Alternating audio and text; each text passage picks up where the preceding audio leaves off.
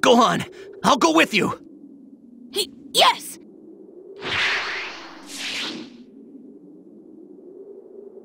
He became a great ape, but, but he'll turn back if we cut his tail off. Go on, let's go cut off that tail. Yeah! Hey, guys! Leave cutting the tail off to the little guy. You just need to draw the great ape protection. Damn it! He- he's so incredibly strong. Here you go. Like, I'll let you die.